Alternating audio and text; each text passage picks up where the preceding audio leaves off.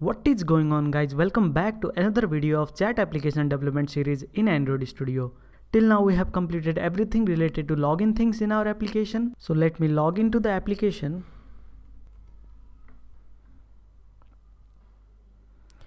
OTP is 111111. Next. This is my username because I have logged in already and created the account. So let me go in now. So we are in main activity. Now we are going to design our main activity. So let's get started. So let's close all this. Let's open main activity.java and activity main.xml. Click on split, make it a relative layout and say hello to this hello world and let's delete it.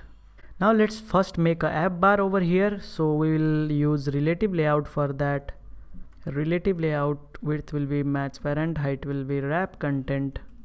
And inside this relative layout I will use one text view that will be our app name wrap content wrap content. Text will be app name text size will be 22 sp and text style will be bold. And let me give the background to this relative layout. Background will be my primary and padding about 10 dp for text view color will be white color and some margin start that is 10 dp and center in vertical will be true. So we have this beautiful app name. I will add one icon over here to search the user. So we are in the main activity. We want to search for the new user. There should be one icon. So for that icon i will go to drawable new vector asset clip art. Icon will be search icon I will take this one. I will name it icon search and I can make the color of this click on next. Finish. So let me use that as an image button over here. Image button about 32 dp height will be 32 dp source of image will be search icon. And parent end will be true like this we have that image. Let's remove that background. So i will use question mark at tree slash borderless. If you type borderless over here borderless selectable item background borderless. So it will remove the background. Let's make the tint color will be white. It should be app tint. Also center in vertical will be true. And we will give some margin at the end about 10 dp so that's it. We are done with our toolbar. Now in main activity i will use bottom navigation view so that i can have bottom navigation view where i will use one option for chat one option for profile. For that i will use a frame layout over here first so that in that frame we will add chat fragment and the profile fragment. So for that i will use frame layout. Width will be match parent height will be match parent so that it will take full it should be outside this relative layout because this is this relative layout is the toolbar. So here it will be and it should be below this toolbar. So i will give id to this relative layout first. Id will be toolbar main underscore toolbar. So this frame layout will be below main toolbar. It will below it. So we have frame layout. Now let's create bottom navigation view. So bottom navigation view width will be match parent height will be wrap content. Here this is our bottom navigation view. So I will align parent bottom will be true. So here it comes. So here it comes.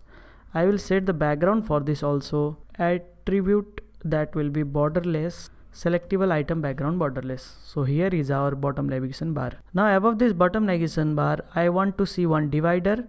And above that divider the frame layout should be there so I will put one divider over here. Material divider width will be match parent height will be 2 dp so here is the divider. It should be above our bottom navigation view. I will give one ID for this. ID will be bottom navigation. So it should be our bottom navigation. And this frame layout should be above the divider. So I will give ID to divider also. And frame layout should be above divider so our frame layout is in between this divider and the toolbar. Now we have to add some items in this bottom navigation view. So for that i have to create the menu. So for menu go to resource first right click new click on android resource directory. So android resource directory and resource type will be menu. So first we will create the directory. That will be our menu. Click on ok. We have this menu directory right click new menu resource file. So this menu will be bottom navigation menu. Click ok. It will create the file. Let's split. And here we have to add the items. I will add two items over here. That will be item. Title will be chats. And icon will be icon will be chat icon. And id will be menu chat i will copy this and i will make another one that will be profile icon will be pro person icon and id will be menu profile. So I will have two items for now. I will close this and in bottom navigation view I will provide the menu app menu that will be bottom navigation menu. So as you can see we have this chats and profile over here. So we have designed our main activity. Let's run it and check it as you can see our application is running we have this nice toolbar with search button over here and we have this bottom navigation view chat and profile so let's create two fragment that will be chat fragment and profile fragment so that we can place that in this frame layout.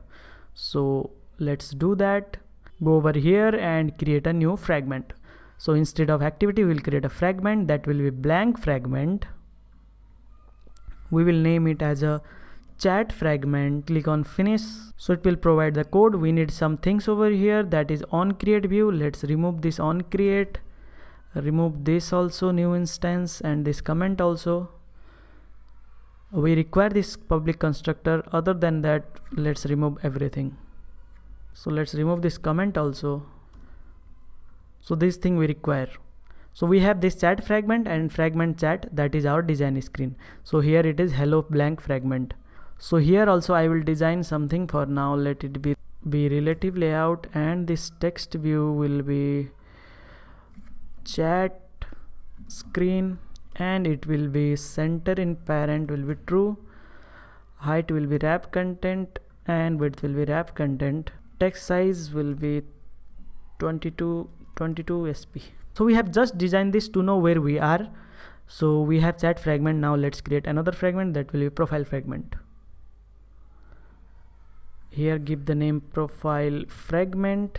Here also let's remove all the unwanted codes except public constructor and this on create view methods. So we have chat fragment and profile fragment. Let's design profile fragment also. I will copy from here everything and paste it here. It will be profile fragment and it will be profile screen.